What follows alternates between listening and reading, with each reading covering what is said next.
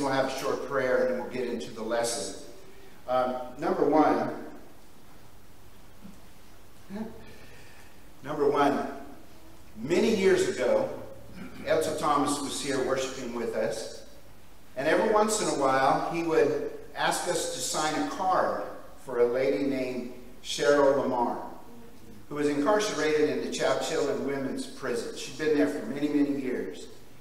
And uh, she was a baptized believer, and she uh, started Bible studies with the women down there in the prison. And she had quite a number of Bible studies, and I believe that she led, uh, if Edsel might remember what Edsel told me, that uh, she led many of the inmates there to the Lord. And they were baptized into Christ there in the prison. And then when they got out, they went out, you know, to a congregation somewhere, I'm sure. But we prayed and prayed for Cheryl. We sent her birthday cards, if you remember. We signed them. Well, as it is, Cheryl Lamar has been released. And she's now living in Vallejo, I believe with her son. And she called me this week, and I can't tell you how much joy I had talking to her on the phone. She was so grateful that we had supported her and prayed for her sent her those cards. She said it kept her going and encouraged her. And right now, and I told her, I'd sure like to meet you in person. Why don't you come and visit with us? And she said, well, right now during COVID, I'm not coming. but as soon as COVID lifts, she's coming to visit us. And I said, that's going to be a great day when we can finally meet her face to face. So I told her she needs to watch the video today on YouTube and she can hear me tell the whole congregation how grateful she is. So let's keep praying for Cheryl Lamar. I'm really excited about that. Also, uh, Damon came and told me, and Maggie texted me earlier, we had a, her nephew, Maggie's nephew, Jerry Clark, uh, preach here uh, about a year and a half ago. Some of you remember him. He had a, a stroke, and he's in the hospital right now. And so let's have a short prayer for Jerry, and then we'll begin our lesson. Our Father in heaven, we ask a special prayer at this time for our brother in Christ, Jerry Clark, faithful gospel preacher and, and teacher, and helper here in the valley with so many congregations. We pray, Father, that you will comfort him, be with the doctors and nurses that are working with him, that he might regain his health, health if it be your will, that he might continue on with the work of the Lord that he's been doing all these years. Thank you, Father, for such a faithful brother in Christ, and we pray for him. Jesus' name, amen. You know, our lesson this morning is called Planting and Watering. Our scripture reading this morning is an exci uh, exciting passage. Now, in this passage, which starts in chapter 1 and goes to chapter 4 and verse 21, Paul is talking about sectarianism in the church of Corinth. Man, sectarianism, that's a big word. Sectarianism means they were dividing into groups. And there, were there was division in the church. He talks about it in chapter 1, verse 10. We're going to talk a little bit more about this at the end of the lesson. But in verse 9 is what I get excited about. Verse 9 says that we are fellow workers with God. Can you imagine that? Little old Jim Holland on planet Earth, little speck, is a fellow worker with the God of this world, and so are you. That's what I get excited about. What a privilege it is for us to work with the Almighty God in this effort of evangelism, saving souls. At the same time, what an awesome responsibility we have as workers, co-workers with him. God expects us to bear fruit. He expects us to be involved in the process. And that's what this lesson is about, planting and watering. In John chapter 15, verses 1 through 8, John says, or Jesus says, written in the book of John, I am the true vine, Jesus says. My Father is the vine dresser. Every branch in me that does not bear fruit, he takes away. And every branch that bears fruit, he prunes, that it may bear more fruit. He says, You are already clean, speaking with his apostles in the upper room, because of the word which I have spoken to you. Abide in me, and I in you. As the branch cannot bear fruit of itself unless it abides in the vine, neither can you unless you abide in me. I am the vine, you are the branches. He who abides in me and I in him bears much fruit. For without me you can do nothing. If anyone does not abide in me, he is cast out as a branch and is withered. And they gather them and throw them into the fire, and they are burned. If you abide in me, and my words abide in you, you will ask what you desire, and it shall be done for you. By this my Father is glorified, that you bear much fruit. So you will be my disciples. So the question now is, what role will I have in this fruit bearing? What is my role in fruit bearing? And there are three roles in this process. First is planting, Paul says, 1 Corinthians 3, verse 6. First is planting. And then there is watering. And then giving the increase. Verse 6 tells us that God's part in this, God's role, is to give the increase. And that can and does take a lot of pressure off of us. At least I think so. It takes a lot of pressure off of me. I don't have to give the increase. All I need to do is plant and water. And that leaves those two roles, planting. And planting is planting the seed, the Word of God, and then watering.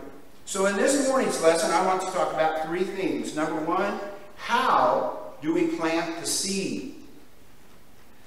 That's terrifying to most Christians. but I'm trying to relieve that, that fear in our congregation about planting the seed and showing what that's all about. And then, what does it mean to water? And then other details that matter. Other details that matter a lot. Uh, things that we don't often think about, but are very important. So, this morning, how do we plant the seed? First off, we talk to people. That's all we have to do, is talk to people. Start a conversation, or as we are conversing with people, as all of us do, Make room in the conversation to bring up the spiritual. A simple question What church do you go to? Or, um, what uh, do you go to church? Or do you like to study the Bible? Or listen carefully to what they say. I like that one myself. Listen carefully to what they say. Many people bring up spiritual matters all the time. If you just stop, start talking to people, they will open the door to the spiritual. We don't have to venture out in most cases and say, you know, do you go to church? Or what church do you go to? There's nothing wrong with that. But if we're fearful of doing that, just let them talk because most people will eventually bring up the spiritual. They'll talk about prayer. I've been praying about it. Oh, you pray? You, you're a religious person? Or they might uh, talk about their church. Oh, where do you go to church? And there's a conversation right there. They might say something about the Bible. Or they might talk about troubles in their life. They're having trouble. And that opens the door for us to tell them about Jesus and how he can take away those troubles. Be ready to interject something into that conversation. That's what we need to do. 1 Peter chapter 3 and verse 15, we need to be ready to interject something into that conversation. I know the scripture doesn't say that, but we need to be ready to give an answer. We need to be ready to jump into that conversation. Sometimes it's a good idea just to let people keep talking for a while. Talk. It's amazing how wide the door of opportunity opens when we let them talk. And they'll open the door. All we have to do is walk through it. I appreciate Tom's prayer this morning for the lost. You know, this year, we need to pray that a lot. Just one in 2021. We need to pray about the lost. I love Tom's prayer. Thank you, Tom. We don't have to dominate the conversation. We just have to be ready to get into the conversation and not be afraid of it. And don't be afraid to admit, I don't know, if you don't know the answer to a question that comes up. I talked to a brother just after last week's sermon, and he mentioned this very thing. Lot of, there's a lot of religious people out there that we get into conversations and they, they, they start bringing up things and we don't know the answer. They may ask us a question. Well, don't let that scare you. We could probably ask them a lot of questions that they don't have the answer to. So if you get in that conversation and, and you, uh, you don't know the answer, just say, you know, I don't know. But I'll, I'll look it up. I'll try to find that answer for you. Do you know the answer? See, let that conversation keep going. There's no shame in not knowing everything. You know, as Jesus said, for uh, he who is without sin cast the first stone. You know, I could easily say, he who knows all the answer, please stand up. Nobody's going to stand up because we don't have all the answers. So don't be ashamed to say, you know, I don't know, but I'll find out. And if you don't know the answer, go search out the answer. That's the way we learn. That way, next time if that question comes up, we'll be ready to answer that. I will give you this caution because I learned the lesson the hard way. Don't try to fake your way through it. if you don't know the answer, say you don't know the answer and move on. When I first started preaching here back in 1990, there was a young man who came to clean our carpets in the building. I was sitting in my office. He said, you mind if I eat lunch in your office? I said, no, that's great. And I thought, oh boy, here we go. I can talk to him about the Lord. And we started talking about the Lord. And then uh, as the conversation winded down, he said, uh, you know, do you study with people? I said, yeah, I do. And I thought, man, this is too easy. He's coming here.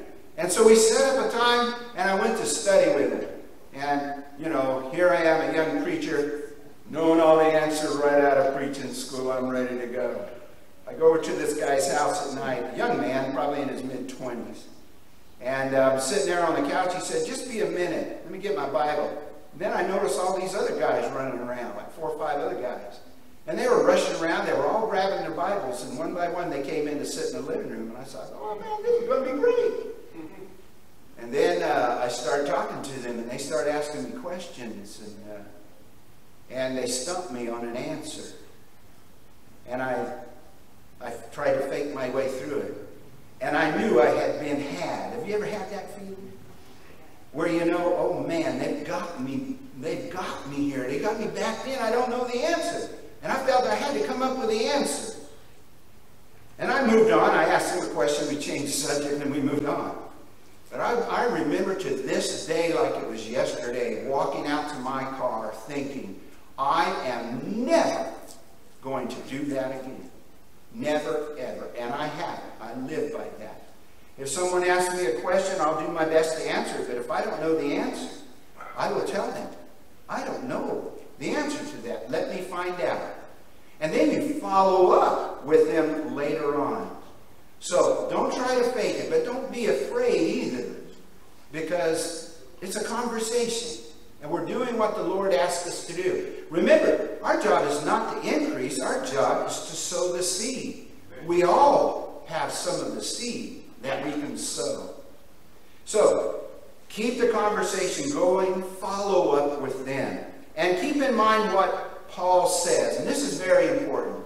My mentor taught me this early, early on. 2 Peter, I mean 2 Timothy 2, 24 through 26. And the servant of the Lord must not quarrel, but be gentle to all, able to teach, patient, in humility, correcting those who are in opposition, if God perhaps will grant them repentance, so that they may know the truth. Keep that verse in mind. Because that's going to make all the difference in the world. When you're patient, you're humble with them and gentle. The second thing, first thing is talk to people. The second thing is use the tools at your disposal. We have an arsenal of information at our disposal.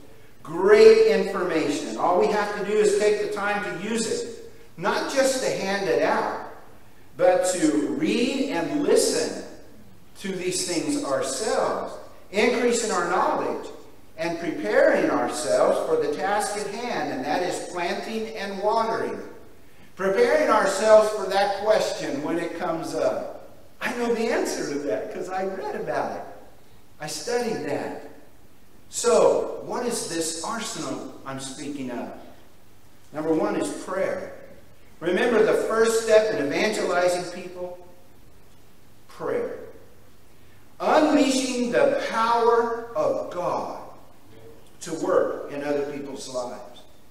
We're going to sow the seed, and the power is in the Word of God. Romans chapter 1, verse 16 and 17. That's where the power is.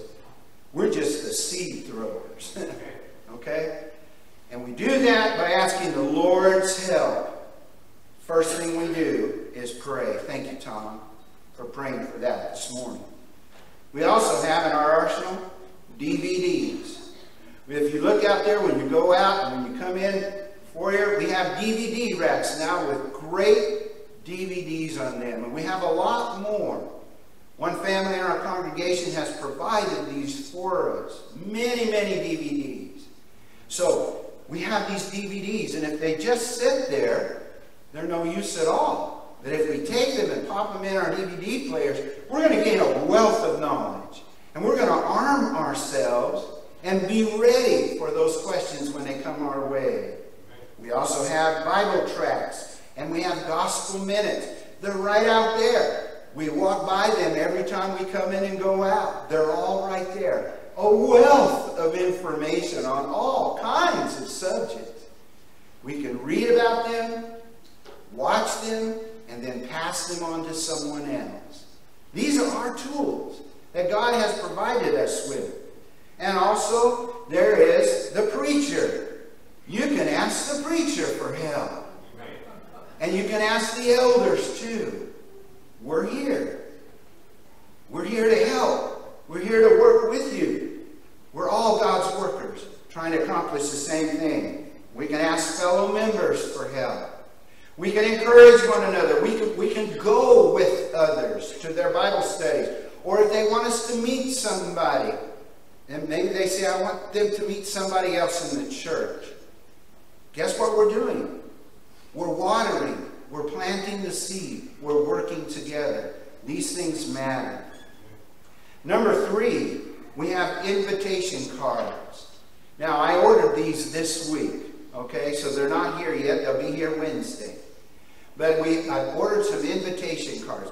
I always like to hand out something to someone when I invite them, uh, whether it's my business card or whatever it is. And here's the card that I ordered. It's square. It's two and a half by two and a half square. It says, I'm inviting you to be my guest and then the event is left blank. We can fill that in. Worship, Bible study, youth group, youth devo, whatever it may be. We can write it in there. The date, we can put the date, we can put the time, and then there's the place. Now, for those who have outside the building activities that we want to invite our friends to, we can cross that out, and then down at the bottom, see notes on the back. And then the back side is blank. So you can write on it and leave all the notes you want. And that, that takes some of the pressure off too. Here I want to invite you. And then guess what they do? Oh, you go to this church? Oh, yeah, yeah. Why don't you come and worship with us? We have a great Bible study on Revelation going. Why don't you come? Or we have great ladies' Bible classes on Tuesday, every other Tuesday. Whatever it may be, these are very easy to use. And getting a card like this, it's a multi-use card. I ordered 5,000, no I didn't. I ordered 500 of these. And we can order more. But the idea is we can use these from now till the Lord comes again. Okay? And we'll order more if we need, need them. But I do want to make this one point about inviting people to Bible class or to worship or Devo or whatever. If you invite someone to worship or study with us, be there. Because there's nothing worse than you inviting someone and then you not showing up and they stand around like a deer in the headlights with no friend around. Now, the rest of us go up to them, but it's not the same. So if you invite someone, be there. So when they come there, they will have a friendly face, and then you can take over from there. And then the fourth thing is be excited. Be upbeat. If we aren't excited about it, why would somebody else be excited about it? Uh, why, don't you, why don't you come to church with us? Oh, man. If your church is as dead as you are, you know, I'll go somewhere else. You know, let's be excited about it. Why don't you come to worship with us? Why don't you come and study with us? We have a great class.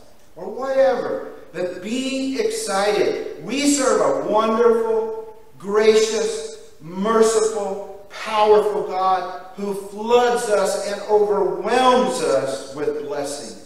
Amen. And this is something to get excited about, excited about, and be joyful about. We want to share this with others. We have the greatest thing in the world here. That's the Lord and His Word and His church. We should be excited about it and not, not afraid to invite others. And then, number five is live a life that reflects Christ. Yes. When we invite others and we talk to others, we have to back that up. Matthew 5 16, Jesus said, Let your light so shine before men that they may see your good works and glorify your Father in heaven. If we don't back up our message with a life that reflects that message, it's just talk. It's just a lot of noise. It's empty words. However, when they see the Word of God at work in our lives, it will get their attention. And they'll listen. They'll listen. So, that's how we plant the seed, those five things. Be aware of that.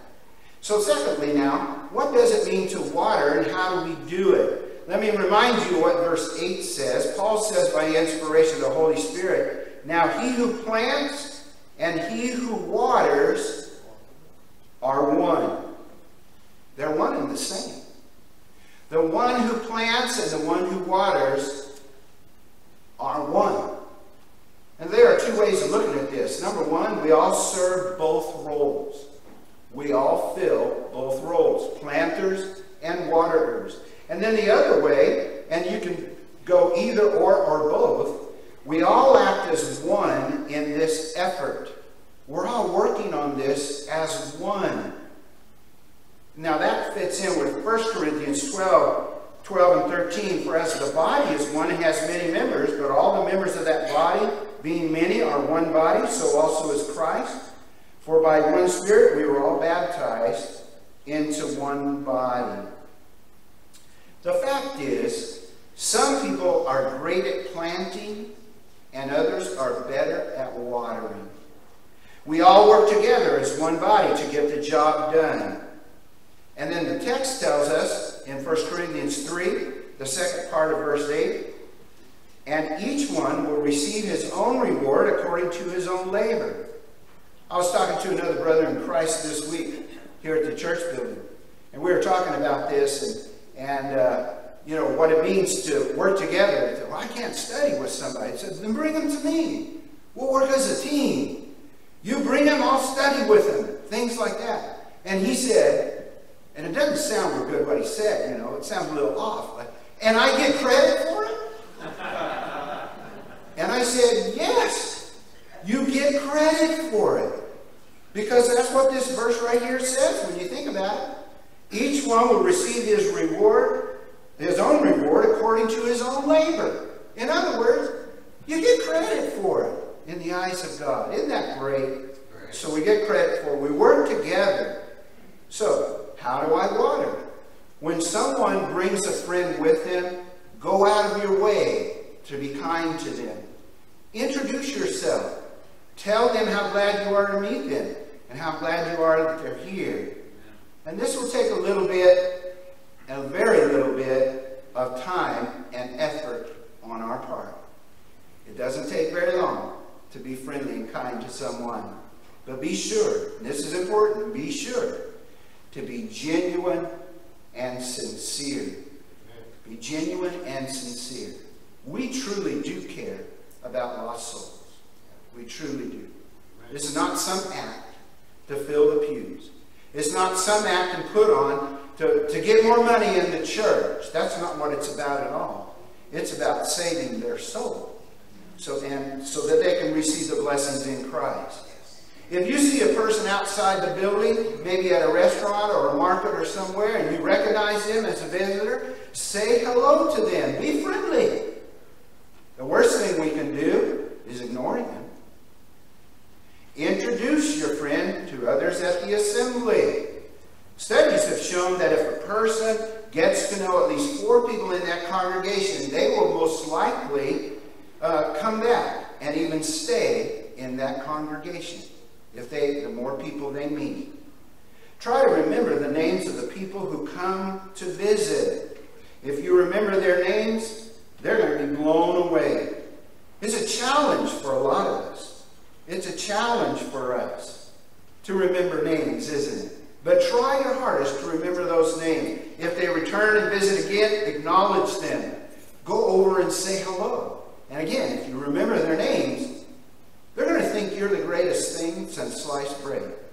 You remembered my name? And the reason we remember their name is because we're sincerely interested in them. We're not putting on a play. We're not putting on an act. Make a point to be friendly. Some people are shy. But you can say hello. You can introduce yourself.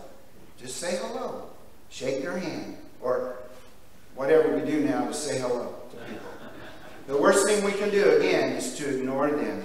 If you bring someone with you to the worship service, stick around and let people greet them. Don't rush out of the church building like the building's on fire. Okay? The worst thing we can do, well, one of the things we can do is just rush our people right out the door, our friends. Bring them around, show them how friendly we are, genuinely. For those who are in Christ, for those who are new to Christ, new Christians, it is important for us to keep watering them. Help the new Christian to grow to maturity in Christ. If you know that they're baptized and you see them coming alive, get to know them. Genuinely get to know them. Back when, uh, if you can remember back, put on your thinking caps, try to remember when the restaurants were open. We could take people out for lunch. We can still do something like that if they're comfortable. But when the restaurants are open, we're going to populate those restaurants again. That's a great way to do it. But get to know them. Spend some time with them. Keep talking to them and get to know them. Sincerely, sincerely. 1 Corinthians chapter 3, verses 5 through 9, in the context. This passage is found in a greater context, chapter 1, verse 10 to chapter 4, verse 21. Paul is addressing sectarianism in the church at Corinth, or division, or cliques, if you will. One of the criticisms people have of churches, not necessarily this church, but churches in general, and I've heard it before, is there's too many cliques in the churches. There's too many separate groups. And I don't know where I fit in. I feel like I don't fit in. And that's, that's a good observation because people really do feel that way. People are breaking into various groups in Corinth based on who led them or baptized them into Christ. And Paul's point in this passage, in context, is that we are all one in Christ. There is only one group, and that group is called the church. And those that group of people is in Christ. Others may have planted the seed and led them to Christ, but we are all charged with watering to help them grow and mature in Christ. And hopefully they too will be able to become planters of the seed and waterers also.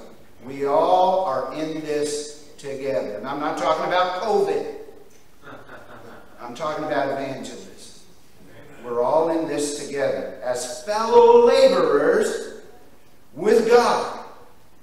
We're planters and waterers. God will give the increase. He will. He will. We've seen that in the past. And I don't want to go in the past because last week I preached I'm not looking at the past. but he will give the increase. Do we believe that or not? You know, I'm going to preach on this sometime in the future. We better get ready for the increase. If we start planting and watering more, we better be ready for the increase. Because it's coming, folks. The Lord is going to bless people, and they're going to be coming here. We better get ready. We're going to need teachers. We're going to need song leaders. We're going to need people to do all kinds of things. We better be ready to work. If we're not ready to work, if we don't believe them, let's just stop right here and fizzle out. No, that's not us. That's not the church. We're planters and waters and workers Amen. with God. So let's get ready to go. So lastly this morning, other details that matter. And here are the things that are really important that we don't often think about. Number one, the church grounds outside. The outside of the building. Years ago, when I first started here, it was in the month of August, 1990. I started on August 1st. I started at Merced College on August 16th, I think. Because I hadn't been to college, so I wanted to start working at college. And I took a couple of classes. One of the classes I took was an anthropology class, I think. And I sat down next to this lady. We got to talking. And we'd sit by each other each week. We kept on talking and stuff. And I told her I was a minister. She said, Oh, really? Where? And I said, The Church of Christ on Yosemite Parkway. And she goes, Hmm. You know, she kind of, hmm. She goes, I know where that church is. I said, Do you? And she goes, Yeah. I thought that church had gone out of business. I thought they had closed the doors. And I said, No. Why would you think that? She said, Because the outside, the grass is all dead. The plants are all grown up. And things like that. I came back and told the elders and the deacons. From that very Sunday that I told them, we start focusing on the outside of the building. On the outside of the building. We've never given it up. It's important to us. You know what? Come to find out, she was a member of the church. She was out of duty. Her brother is very active at 20th in age. And if I said her name or his name, many of you know him. But it was his sister. She was out of duty. Later on, she moved out of the area, but she came back here for a while. She worshiped here for a while. Then she got married and moved away. I'm so proud of that. I'm so glad we had that conversation. Because sometimes we forget about how the outside of the building looks. So, we have several people in our congregation, many people, who help maintain the appearance of the building so it doesn't slip into a uh, uh, disrepair and look like we're out of business. It's important. Okay? First impressions do matter. Many people draw a conclusion about us before they even step foot into our building. We need to realize that. We need to realize that. And how does the inside of a building look once they enter?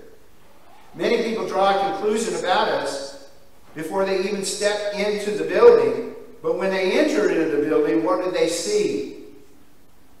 We need to get used to looking at things through the eyes of visitors.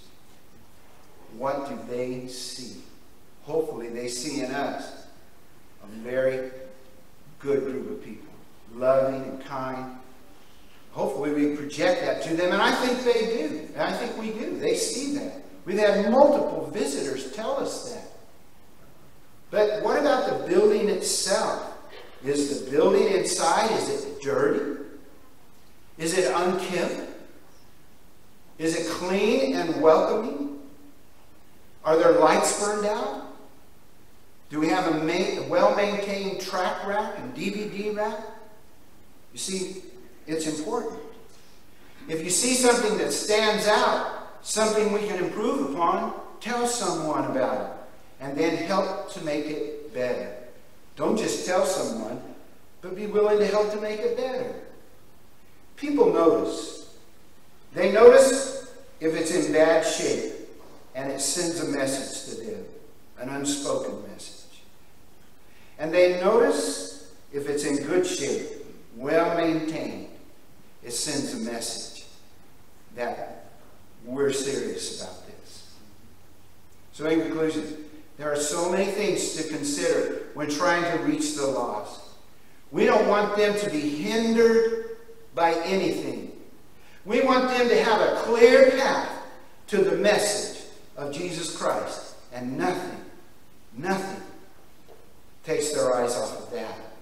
So this morning, I hope you have considered what your role is in evangelizing just one in 2021. Each of us, every last one of us, has an important role to do. And it's not a play. It's not something we're faking our way through. We're genuine about it. We're sincere about it. We should all see our part as an integral part in bringing the lost to Jesus by either sowing the seed or watering the seed sown. And keep in mind what Paul said in verses 8 and 9. Now he who plants and he who waters are one. Each one will receive his own reward according to his labor. For we are God's fellow workers. You are God's field. We are God's building. Mm. If you're here this morning and you haven't been baptized into Christ, you've never obeyed the gospel, we hope that you will consider that, to do that. It's a command by God that if we want to be saved, we have to obey the gospel of Jesus Christ. First, we have to hear it. Once we hear it, we're going to make a we're going to make a choice. We either believe it or we don't. I don't think you'd be here if you didn't believe it. If you're here and you believe Jesus Christ is the Son of God, he, that belief gives you the power to go on and repent of your sins and turn and follow after him. Confess Jesus as the Son of God and be baptized into Christ, fully immersed in water, not sprinkled, not poured, but dipped, immersed in water. Following the example or the death, burial, and resurrection of Jesus Christ, we're buried with Christ in water, raised up a new creature to newness of life, completely forgiven of all our sins. We come in contact with the blood of Jesus that re remits our sins in the waters of baptism, ready to live faithful from that day forward to Jesus Christ, loyal to Him. If you haven't done that, we're ready. We're ready. The water is warm, I hope. The water is clean, I'm pretty sure. And I know we have clothes that you can put on. You can leave here dry. You don't have to go wet in your car. You can leave here dry. But those are minor considerations for what you're going to do. And what you're going to do is dedicate your life to the Lord in obedience to the gospel. If you're here this morning and you need to respond and you'd like to be baptized, we're going to sing a song of invitation in just a moment and you can respond, and we'll baptize you into Christ this morning after you take your confession. If you're here this morning, you are baptized believer. You're a member of the body of Christ, but you haven't been faithful, you haven't been dedicated, you haven't been loyal. It's time to rededicate your life to the Lord. Come home to the Lord this morning. If you need the prayers of the church, we encourage you to come forward also for strength.